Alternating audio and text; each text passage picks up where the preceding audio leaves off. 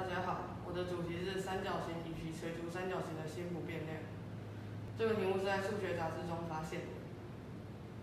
本研究主要由垂心推广到其他行星，而且为了要给出一般化理论，所以可以得到欧拉线上所有对应点构造两直线还有垂直关系。这是本研究会用到的预备知识。接下来是研究结果。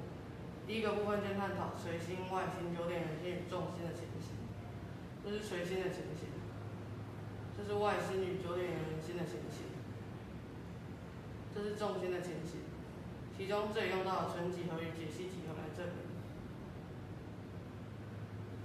接下来探讨的是欧拉线上所有对应点构造两直线还有垂直关系。其中这里证明是得到两位向量，代入垂直冲要条件式。可以得到重要条件为角 A 为六十度或一百二十度。接下来要探讨的是三角由其他行星所构造的垂足三角形。第一个部分先探讨垂足三角形为正三角形的情形。由图十可以看到，G、G1、G2 三点共线，就可以给出有向线段。接下来探讨是垂足三角形为相似三角形的情形。这里有五组。每一组的重心都是三点共线，且都有给出有向线段比。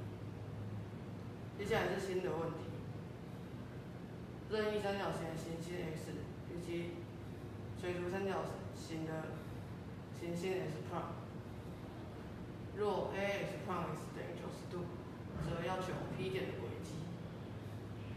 以下是本研究的结